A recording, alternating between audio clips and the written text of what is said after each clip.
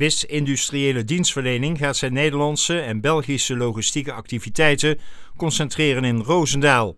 Op Borgwerf 2 komen er een magazijn, werkplaats en de centrale opslag van stijgermateriaal. Het bedrijf, gespecialiseerd op industriële dienstverlening, biedt werk aan 120 mensen. De keuze viel op Roosendaal vanwege de bereikbaarheid en centrale ligging.